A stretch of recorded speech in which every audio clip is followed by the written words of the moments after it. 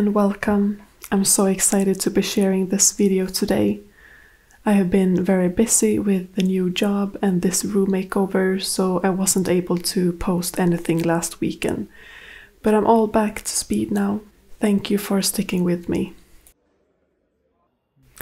This room makeover started during last summer but had to take a back seat for a while when we were busy with the outside projects uh, the whole summer and fall.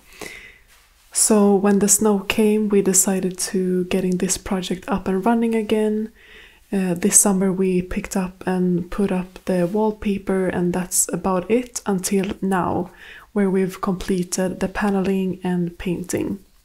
There's still much left to do. We will build a shelving system as well as a desk area for us to work we're also going to decorate the space, but all of this will be in upcoming videos, so stay tuned.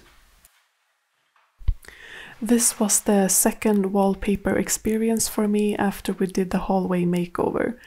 I really don't like the process, even though it's worth it in the end.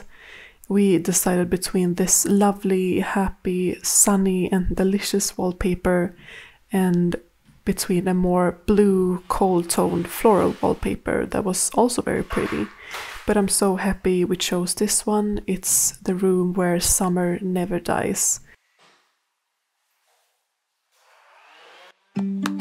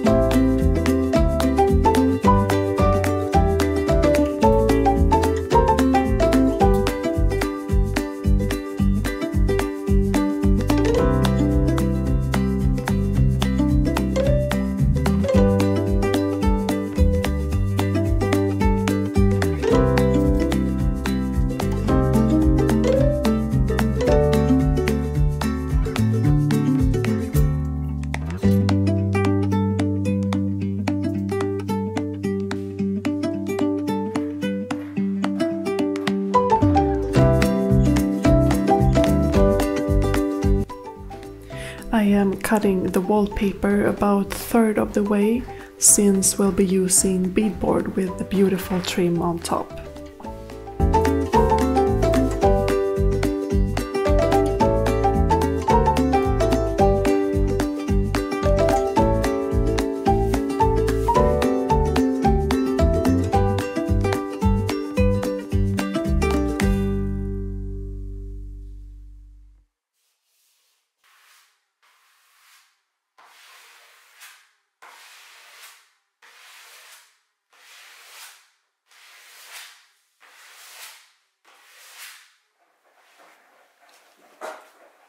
Cut to now where we're cleaning out the office. It's a mess, we haven't been using it much, but now that I'm working from home two days a week, I needed to prioritize it. We're measuring and cutting the panel and trims. We already had all of this at home from when we bought it this summer, so everything went quite smoothly.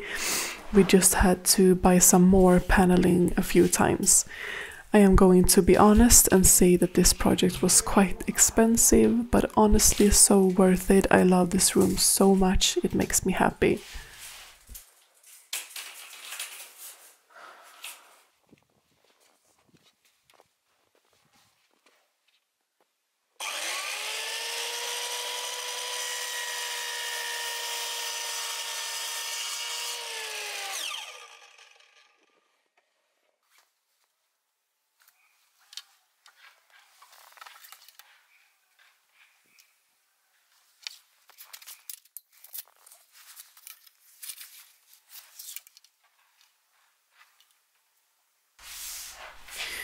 We attached the panel with nails, mixing with the nail gun and hammering by hand. We have drywall, so the nail gun wasn't always enough.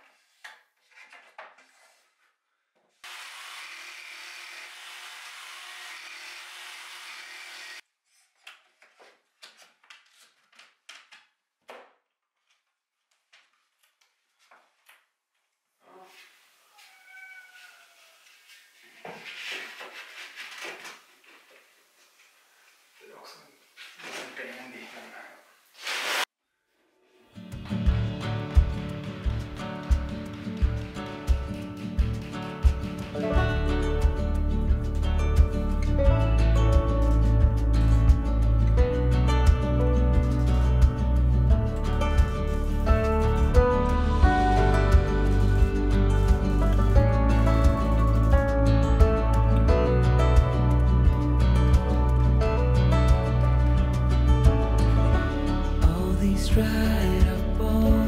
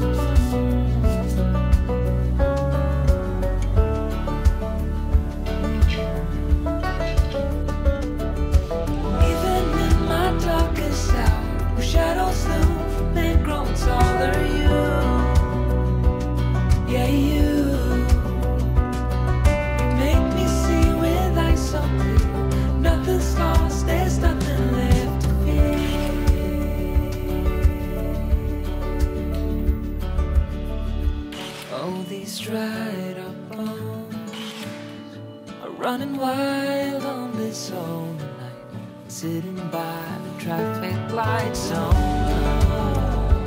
I don't know if I should go.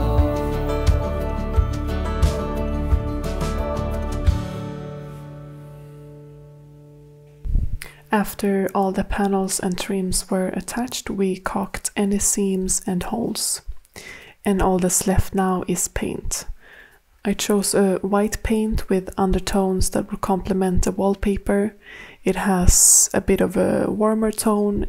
I painted two coats. At first, I used a paintbrush, but after a while, my shoulder started to hurt, so I switched to a paint roller. And I used the brush for trims and in between the panels, and I think it worked out great.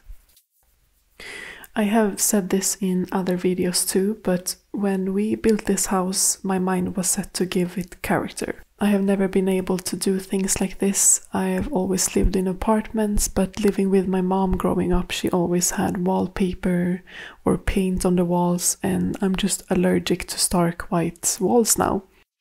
I also kind of wanted the house to feel a bit older and lived in, even if it's brand new and to be able to give our home our own personal touch from a blank canvas is a blessing.